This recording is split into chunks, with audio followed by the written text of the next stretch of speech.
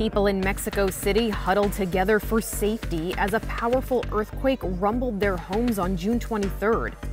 The quake caused pavement stones to move like an accordion.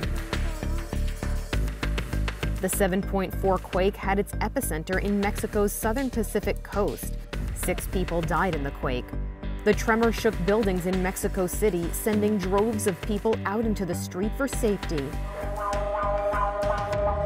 That alarm is a seismic alarm triggered by the quake. And Mexico City has cause for alarm.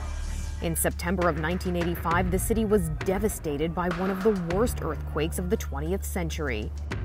The digging continues, the death toll rises. More than 250 buildings in Mexico City have been reduced to rubble.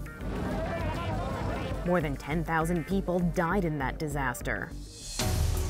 And 32 years later, in September of 2017, a powerful quake centered in the Mexican state of Puebla killed over 350 people.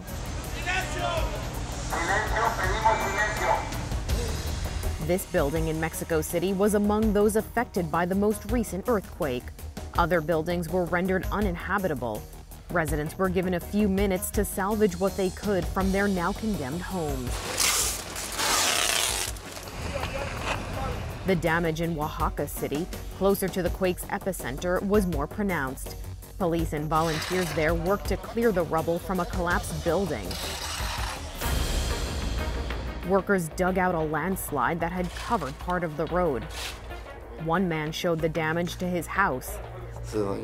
We lost everything in one moment to nature, he said. Others began the tedious work of putting their homes back together. This man moved his belongings to a family member's home in the back of a truck. Other buildings were damaged, but thankfully the effects were mild compared to earlier events. The quake also triggered a small tsunami. Again, nothing approaching the devastation of disasters like Japan's 2011 tsunami. el sur de México. Pope Francis said a prayer for the victims of the quake in his weekly address. Recent seismic activity hasn't been confined to North America. On June 14th, an earthquake shook eastern Turkey. The 5.7 magnitude quake destroyed several buildings. Nine people were injured and one person died. And in Indonesia, a volcano known as Mount Merapi recently erupted twice. The eruption launched a mile high column of smoke and ash. In 2010, a series of eruptions killed over 300 people in Indonesia. No injuries or damage have been reported this time around. Back in Mexico, a worried child was comforted by a grown up as people work to put their lives back together after this latest tremor. This is Inside Edition Digital.